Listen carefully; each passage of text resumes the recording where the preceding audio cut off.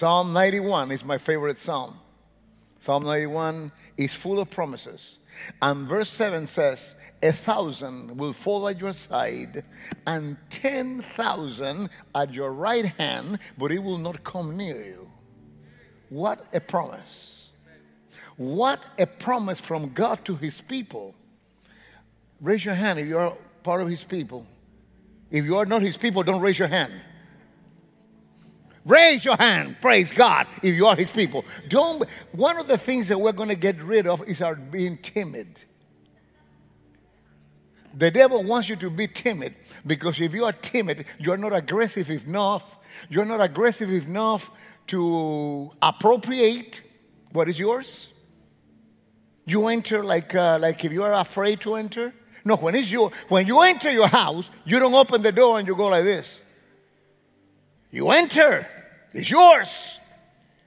Timid people will not achieve in the kingdom of God, and the devil will steal from you all you have, even though legal is yours.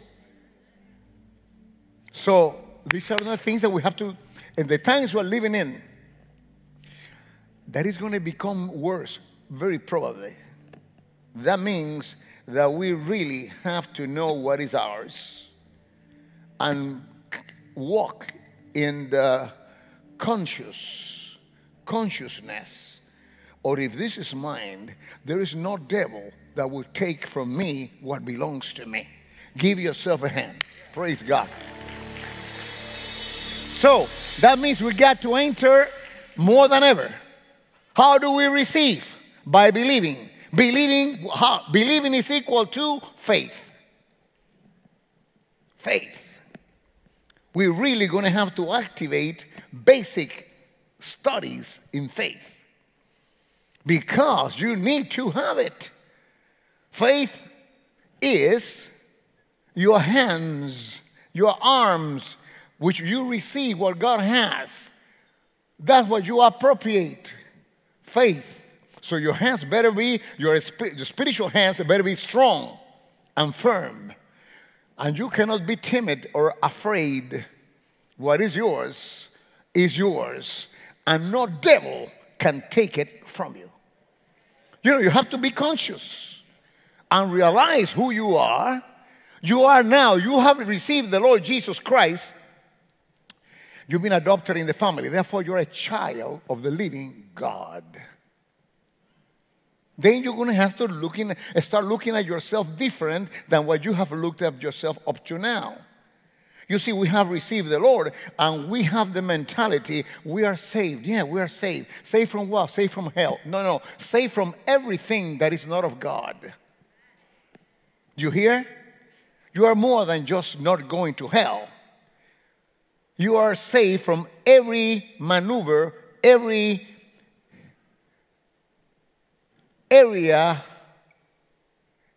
that the devil has, any trap that the devil may have for you on this earth. You're going to have to walk realizing who you are and recognizing the angels that surround you. You got to read Psalm 91. Some of you read it 20 times a day, at least like a medicine, two or three times a day. I say 20 times a day because some of you really are in problem. So, read Psalm 21. That's, that, 91. That's, that's my favorite psalm because of the amount of promises. But then you may know the promises, but now you're going to have to believe them. This is the second portion because you may know them and means nothing. It's just like you know that Christopher Columbus discovered America. So what? You continue being your same life even though you have that information. Now is to have uh, the revelation of that information that makes you see different and make you act different and make you receive different. Praise, say praise God. Say that's for me. Hallelujah. Yeah. Aggressive. Let me go to uh, Romans 10. Romans 10, verse 7. Romans 10, verse 7.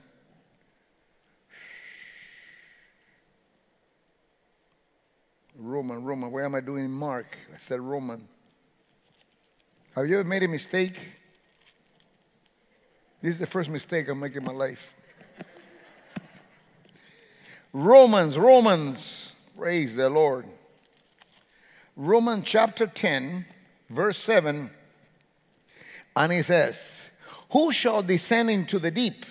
That is to bring up Christ again from the dead. But what saith it? The word. This is the word. Okay? This is the word of God. The word of God means his desires and his information and his guidance and his direction. This is his desires for you. Say the word. All right. The word is nigh thee, near you, even in thy mouth and in thy heart. That is the word of faith which we preach. So he says that this word has to be in your mouth and in your heart. That is the word of faith that we preach. Why is it important? Because it's the word of faith that is going to make you achieve, grasp, take, make yours what God has for you. So you better have the word of faith in the right place. How do I develop the word of faith? Having it in my mouth and in my heart. So some of you has the word of faith in your heart. That means you believe right, but you speak wrong because it ain't in your mouth. This is so important. So important. You see, for example, the word of faith, it says in Romans that you are more than a conqueror. That means that you will conquer. But the truth is, well, not the truth, the reality in the natural that we call truth shows that you have never conquered anything. Therefore, now you have an inclination to speak the natural realities. But the spiritual reality says that you are more than a conqueror. Do you understand the difference now? So you can have that information and believe right, but you're speaking wrong. You are declaring and saying against what God is saying. Therefore, faith is not there. You will not conquer. In other words, you will continue not conquering like has been all your life because you are now not realizing who you are now after you receive Christ. Now you look at yourself like you were before a defeated person. Do you follow what I'm saying? The Word of God that shows you you're a conqueror and shows you whatever else is there that is for you has to be not only in your heart, has to be in your heart and in your mouth. So you say, I believe right, I do this, but what about what, what are you saying? What are you saying about yourself? You see, Proverbs 27 says, according to how a man think of himself, so is he. How do you think of yourself? Of course, we have been trained to think of ourselves according to what we've been taught and according to the experiences we have had in our lives. It's like a computer. Your mind receives your information or how you've been taught. And your experiences when you were a child. If you were rejected when you were a child, if you never knew your mother, if you were raped when you were a kid, and all those eh, information, when you went to school, they made fun of you because you wore glasses, because you were cross-eyed, I don't know, whatever it may be. That information that is there will make you think of yourself as those experiences will tell you to think of yourself. But now, you, when you receive Jesus, the book of Colossians says that I've been transferred, transported translated from the kingdom of darkness into the kingdom of light. I'm a new creature, I'm a new person. I'm going to have to start looking at myself like God says I am and not like I used to be. That ain't easy. That ain't easy, but if you want to go to the next level and you want to achieve and you want to raise, maybe for the first time in your life, the, the, the, the, the, the, the, flag of victory, you better start thinking of yourself like God is telling you how to think of yourself. There's more. You don't even know who, you, we don't even know who we are yet. We are more than we could even think being a child of the living God. Raise your hand toward heaven. Raise your hand toward heaven and give, give God thanks. Praise God. Give God thanks for what He has done for you and what He's doing for you. And realize that there's a change that's going to take place. So you may believe right and speak wrong. You want to achieve and enter new level. Some of you need to get out of the hole you're in. You need to. You see, you see your words are like a missile, a projectile. Is a, your words create a vibration. You have power in your words. Your words create a vibration. A vibration that when it hits, it's um, start opening doors for that vibration to create a manifestation. A manifestation of what? A manifestation of what you have in your heart. And what do you have in your heart? The Word of God. Because you believe right, now you're going to have to speak right for it to manifest. Do you follow what I'm saying? The manifestation is not what you have in your heart. The manifestation are the words that are projected from your mouth of what you have in your heart. And when that word is thrown out there, when your heart believing what God says, remember, what you have in your heart is not what you just imagine. You are putting in your heart what God is saying about you. So that's the word of God. The word is in your mouth and in your and in your heart. So in your heart is that word. Now, it has to be projected out into the natural for it to manifest that which is in your heart. In this case, example I place, you are more than a conqueror. You are supposed to conquer. Conquer what? Well, I don't know. Maybe you need to conquer your business. You're in a new business. Maybe you need to conquer your wife. Maybe you need to conquer your husband. Maybe it's your child. Maybe you have family problem. I don't know. Maybe you have to conquer your own uh, complexes that you have. You understand? Maybe you got to conquer your drugs. You're smoking. You're a drunkard. I don't know what you are that you already know you are wrong. But you know what? Even though it looks terrible because you have never conquered anything and everything has conquered you, now the Jesus that is in your heart is telling you through his word that you are the one that is more than a conqueror. Can you look at yourself different than what you have looked at yourself up to now? Maybe you're a young person, maybe in school, you always take, maybe you always get F's and D's once in a while. But you see, maybe your parents, even though they love you, they have spoken terrible things upon your life.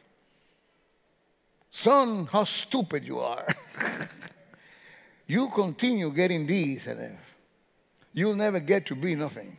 You never do this. You never do that. Blah, blah, blah, blah. Then uh, you the, your uncle got to your house. How you doing in school? You didn't want to tell him. Then your mother said, "Oh, the same. I don't know what we're going to do with the child." So you are growing, accepting that you are a defeated. You're a defeated. I was going to say warrior, but you're not even a warrior. You're just a defeated person.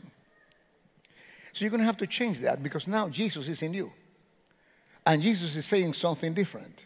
I say that Jesus is saying, Are you listening to me back there? I saying that Jesus is saying something different. Are you listening to me over there and the, whatever you're seeing me through? Hey, the past is gone. Now you are in Jesus Christ. And you must enter the doors that is opening for your life. And you are, everybody say, I am what God said I am. And I have what God said I have. Give yourself a hand. You cannot allow your past to rule you and to direct your future. Listen to what I'm saying. You cannot permit your past to rule you and direct your future. No. Who's going to rule you and direct your future? God's word. That you're going to get it and put it in your heart, and then you're going to make it manifest as you project it out of your mouth. Praise God, I'm telling you. You see, the thing is that your faith is not yours, it's God's. Since your faith is God's, you got to operate faith like God operates your faith. My God, this is so powerful. I gotta be going soon. Now, this is tremendous. Say, this is tremendous. Even if you don't think so, you say it. Praise God. But look, look at uh, Romans 12. Woo! Woo! Romans 12. I get in there. Listen to this. 3, 12, 3. For I say, through the grace given unto me, to every man that is among you, not to think of himself more highly than he ought to think, but to think soberly, according as God hath dealt to every man the measure of faith. God has dealt to every man a measure of faith. What faith? His faith. And he says, Don't let every man think more than he ought to think of himself. Why does he say that? Because when you get to know how God, how this works, you're going to start achieving. You're going to you start, you're going to start conquering. You're going to start having. You're going to change the way you look at yourself. And then God is saying here, hey, don't think, don't think more than you, you think of yourself. Remember everything you have because I've given it to you. Be humble. Because this message could give uh, people the wrong feeling. Because it appears that what I'm talking is in a very arrogant position. But I'm not being arrogant, I'm just being sure that whatever God says is true for me. Now, I may be single out, I'm an arrogant preacher, but I don't care what you think. I know in my heart what God thinks.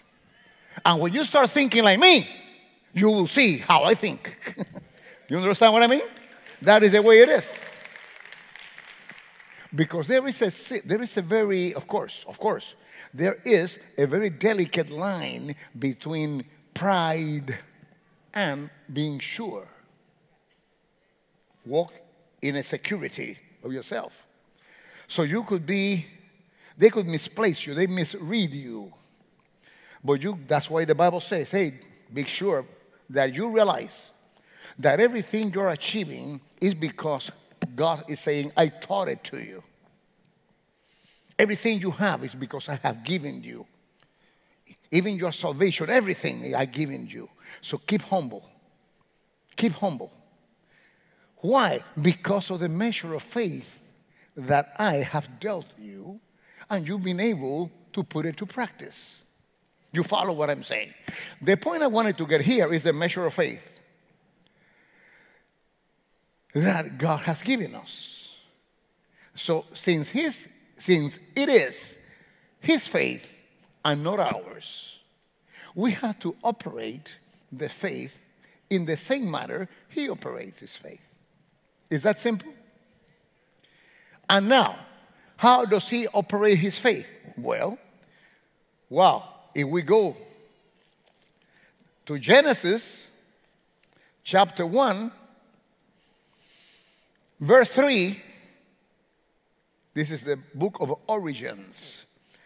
Verse 3 says, And God said, God said, and God, say said, said, and God said, Let there, let, let there be light.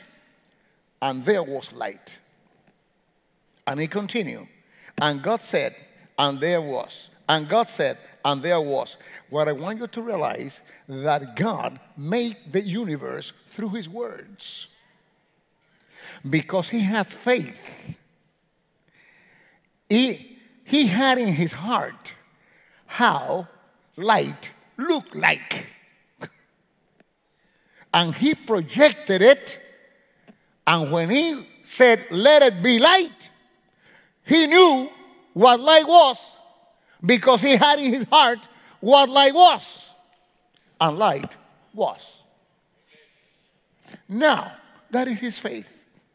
He's giving you and me a measure of that faith. How am I going to operate it? He's teaching me. That's why it says there in Romans that the word that develops the faith has to be in my mouth and in my heart. Both places. If it's not in both places, if it's not in heart, forget it. Because in the heart is the root, is where the seed goes. That's another teaching. Where the seed goes. But now, what is there, you projected it. You operate the faith just like your father projected. He's your father, you know? And you're an heir. You have total right to use what he uses because he's your father. He's your father. You're going to have to look at yourself different. But if you don't look at yourself different, you still have that religious inclination. You will not enter because you'll be timid. I don't deserve it. Of course, you don't deserve it. But He has chosen you anyway. I always give the same example my son and my daughter when they were little. You know? I used to say, well, when I come back, I'm going to bring some chocolates. If you behave, I give it to you. If you don't, I won't give it to you. So I came a few hours later with my chocolates. I asked, How did they behave?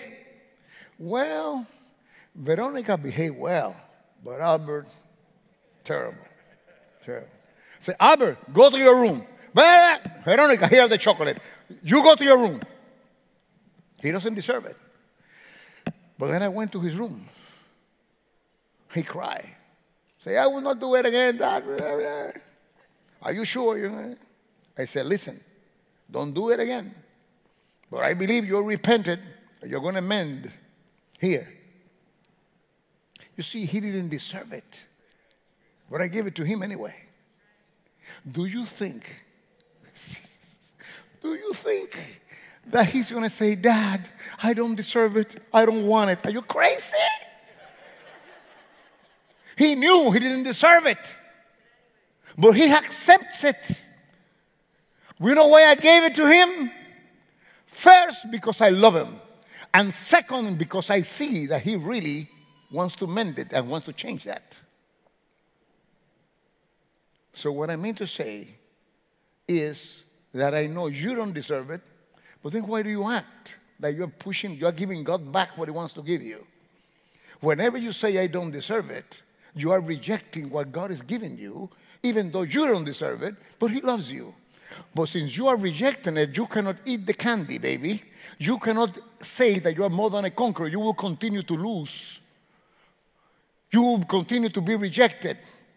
You will continue with your weird thoughts. You will continue seeing yourself like nobody, like you're a second nature. You will continue being that everybody rejects you. Why? Well, they reject me because I'm black. They reject me because I am short. They reject me because I'm poor. They reject me because I got cross eye. You, that is in your mind. You are rejected because you need to know that you're a child of the living God. When you know you're a child of the living God and you accept that you don't deserve it, but you got His blessings, nothing can stop you. Praise God. I don't care what you are.